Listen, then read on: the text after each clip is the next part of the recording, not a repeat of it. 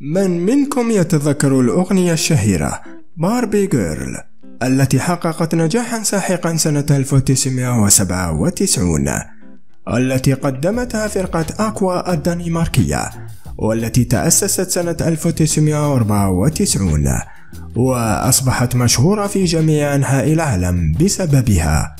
إلى أنه في سنة 2001 توقفت الفرقة عن الغناء حتى سنة 2007 أعلنت الفرقة إعادة لم شملها والعمل والغناء من جديد. شاهدوا اليوم كيف أصبحوا أعضاء الفرقة بعد مرور كل هذه السنوات ومن لا يزال على قيد الحياة. لكن لا تبخلوا علينا باللايك والاشتراك في القناة من أجل أن يصلكم كل ما هو جديد.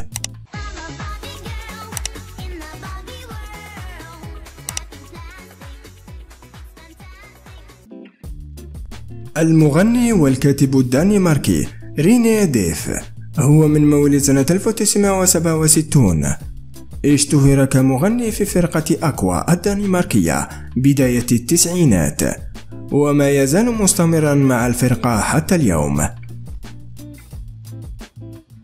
الممثلة والكاتبة والمغنية الدنماركية لين نيستروم هي من مواليد سنة 1973 بدأت نشاطها في الفن منذ سنة 1988 كممثلة في المسرح. ونالت شهرة كبيرة كمغنية رئيسية في فرقة أكوا وهي لا تزال مستمرة حتى اليوم.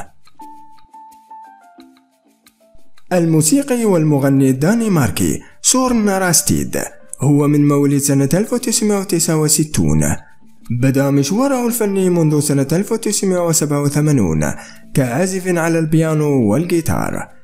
اشتهر في فرقة أكوا كمغني ثانوي وعازف.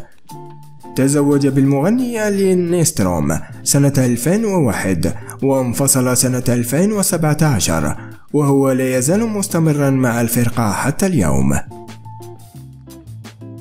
الموسيقي والمغني الدنماركي كلاوس نورين هو من مواليد سنة 1970 بدأ مشواره الفني منذ سنة 1988 اشتهر في فرقة أكوا كعازف جيتار ومغني ثانوي. ترك فرقة أكوا سنة 2007 وهو حاليا يعمل كمنتج موسيقي.